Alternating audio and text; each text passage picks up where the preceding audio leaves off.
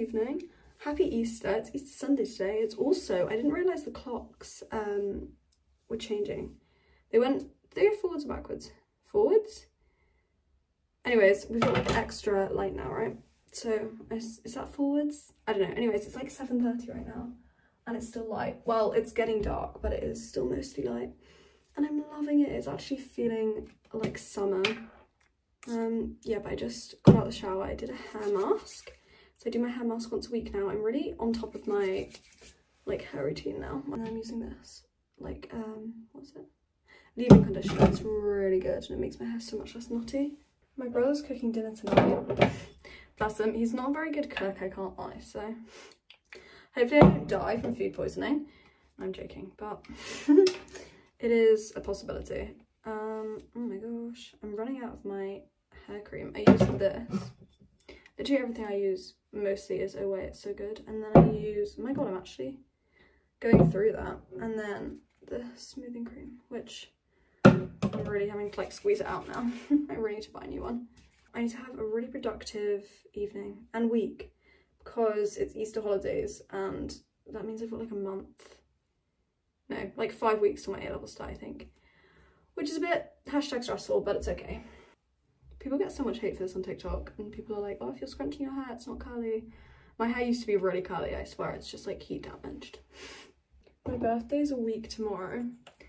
I actually really don't want it to be my birthday. Like normally I love my birthday, obviously, but I'm literally gonna be a whole adult. That's really, really scary. And like it's my last year at school and like, I don't know, it's just scary.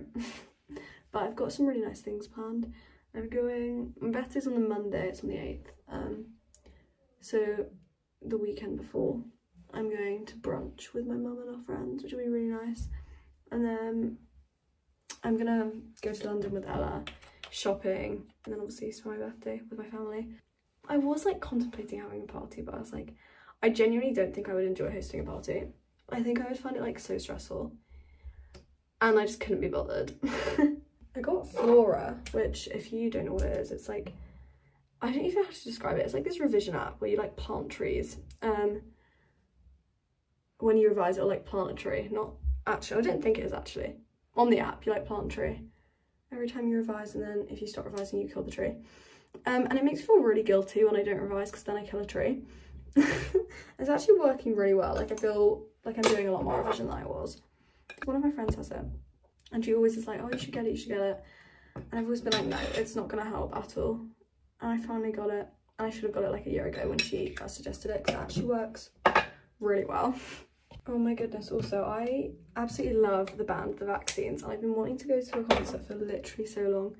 And they've got one in London um i think it's on like the 10th of july something like around that time and so i really wanted to go and then i realized i'm on holiday at that time so i actually can't go which i'm actually heartbroken about because i don't think they have another one in london for like ages and i've been waiting to go for so long and i saw it i was like oh my god i'm gonna go and then i told my parents and they were like we're on holiday it's like oh my god no i'm kind of heartbroken but still it's holiday so it'll be fun but can't believe i'm missing that I've literally been out of the shower for like 20 minutes and my bathroom's still steamed up. I feel like, it's that bad? I feel like it should go down more quickly than that. Anyways, let me get dressed. Oh my god, also, I was thinking the other day, I used this from Clinique. It's the Black Honey, like, lipstick, I guess. I literally use it every single day of my life. And I just looked online because I was really hoping they had a lip balm. They don't, and I really hope they make a lip balm because I genuinely love it so much. And I just feel like that would be amazing. Wrapping King No One. Also, I've rediscovered this sweater, oh, whoopsies, from Brandy, which I bought probably three months ago and I've not really worn it and I don't know why because it's really cute and it's also really comfy. It's my new um, obsession. Perfect Sunday, heavy, Okay, revision time. Although actually I think I need to do my homework first because it is due tomorrow.